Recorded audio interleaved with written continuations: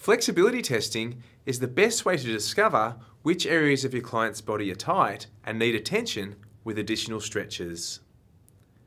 To measure flexibility, the joint angles are measured at various points while the client holds a stretch. Important flexibility tests for you to remember include the hip flexor or Thomas test, the lying hamstring test, and the shoulder flexion test.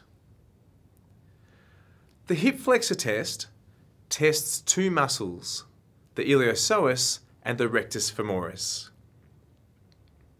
Start the test by lying on a bench with your hips right on the edge. Tuck both knees into your chest.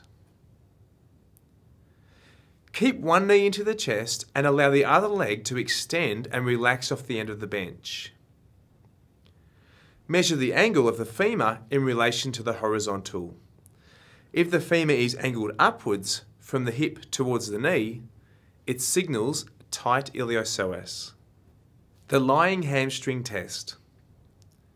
Have your client lie on the floor with the arms and legs flat and maintain a neutral spine. Have the client lift one leg straight up as far as they can, whilst maintaining a straight knee and neutral spine. Measure the angle of the leg in relation to the floor. If the leg flexes to 80 degrees or greater, the measurement is normal. Any measurement less than 80 degrees is considered short.